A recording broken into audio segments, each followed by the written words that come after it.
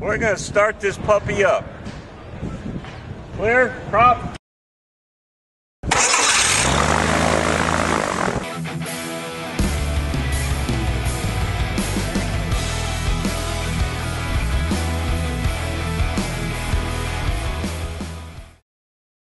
And welcome back to Tip of the Week.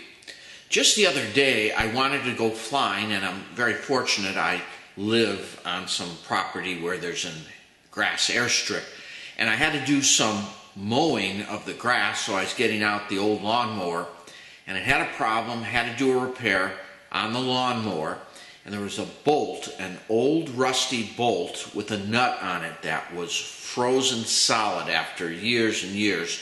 I had to get the nut off to do the repair and it would not come off. And it was to the point where it was about to break if I went ahead and just wrenched it as hard as I could. So my first inclination was to get out the old torch and heat the thing up, and then they always come off. But I don't like using torches around engines with gasoline and the fumes and the explosions and all the trauma that comes with that. So I thought to myself, there has to be a better way to heat up a component without using a flame. So I want to show you a brand new device which you may have never seen before that is an excellent solution to creating intense heat wherever you need it and well it, it'll it may blow your mind. I think this is incredible. Let's have a look. Here is our nut and bolt demonstration. Now this nut we will pretend is frozen solid, rusted on to the bolt inside of it, and our goal is to remove it by any means possible. Now, a typical possibility would be to use a torch because it is frozen on there through rust Obviously, our penetrating oil did not work, so we want to heat this up and get it off. And here is our device. This is a portable, very portable induction heater. Plugs into the wall, 115 volts, can be held in one hand, and is operated by simply pushing this red button. At the business end, we have a coil. Now, if you were to take this white insulation off the coil, you would see that it's simply a number 10 wire and has an end located inside and is clamped in position with these thumb screws. So it's easy to remove out by just loosening the screws and taking it out. These can come in any number of diameters because the idea is we're going to place this over the part we want to heat up. And in fact, if you have an irregularly shaped part, we have one of these in a straight length so that we can bend it in a coil over whatever irregular shape we want. But that is it. it has a fan in it, it blows through. And let's put it to the test.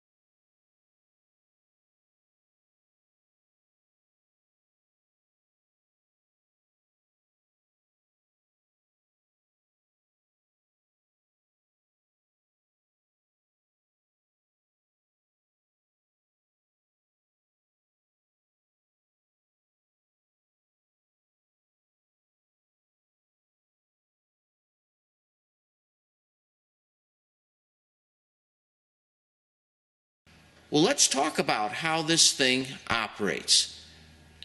And of note is that this coil, where all the heat is created, does not actually get hot at all.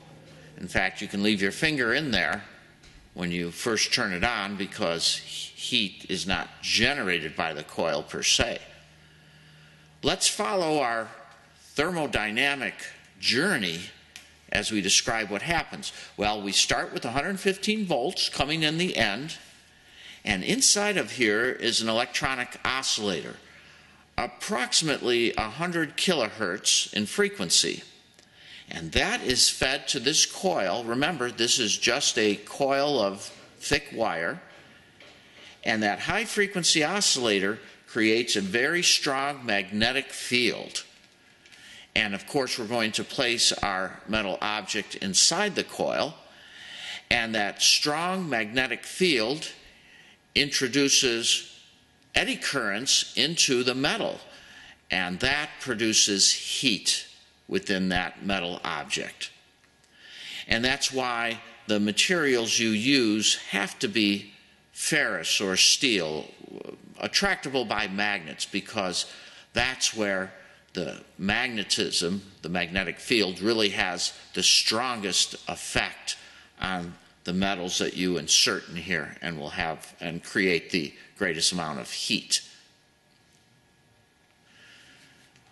Induction heating, as it's called, is not new. That's been around for a while. What is kind of new is that this is so portable, handheld, and has the power to do exactly what we want it to do localize heat, very intense heat, and allow us to do things like remove rusty nuts and bolts.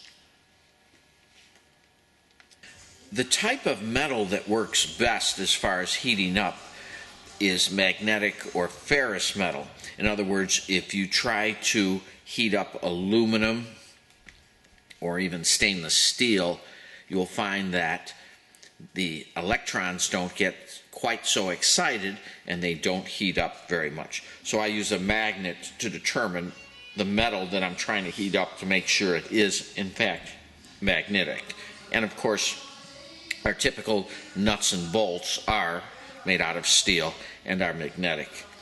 And that was kind of the purpose of this device is to heat up very locally areas red hot nuts and bolts to make them easy to remove. Now, instead of using one of their supplied coils of this diameter, we can also create our own coil. In this wire here, we have a length of about 30 inches where we can form this into any shape we want as long as it ends up such that it can fit inside the device. But that way, if you think about it, if we have something we need to heat up, for example, a tie rod on an automobile, long shaft, and it has an adjusting device somewhere in the center and with old, old cars, those freeze up to the point where you have to torch them or they won't turn. Well, instead of using a torch, you could wrap this around that tie rod adjuster, and then as long as you get these two pieces in their appropriate position, we can plug them into the device and heat it up. Obviously, we can't slide this over a tie rod on an automobile because both ends are connected and you won't be able to get it on. And that's the idea of rolling your own coil. And again, nothing magical about this other than this is approximately a number 10 copper wire with some very nice insulation on this. And the reason for this is remember you're getting something red hot and you don't want it to destroy the copper cable inside. So this is an insulation material that they use to protect the wire. Otherwise, you would destroy it after a few times. And there you go. So what other things can we heat up to tremendous heats and for what purpose? Asking a question like that just allows the imagination to run wild. Um, so you want to be careful. And by the way, very strong magnetic field, obviously. That's how this works. So want to make sure you don't have any rings on, otherwise you will, uh, yeah, melt one of your fingers. And you want to watch out for those tickers inside pacemakers, thank you. Again, strong magnetic field. Now, we know through the laws of physics that the magnetic field dies very quickly, exponentially, as you move away from the coil, but still, tremendous RF energy coming off of this. So, you do want to be careful when it comes to metal, ferrous objects. Oh, and did I mention if you get this too close to any of your body piercings when using this, you're going to be in for a world of hurt. Now, I find it interesting if you look at the name of this product, it is Eve Screw Dismounting Device. Okay, that certainly describes what it does.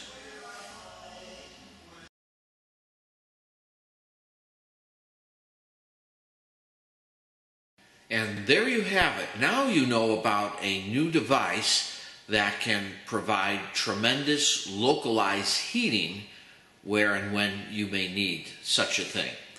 And basically provide a science project all in one sitting. I wonder when Harbor Freight will start carrying one of these devices in their catalog. So until then, everyone now back to building. How's my, my collar look okay now?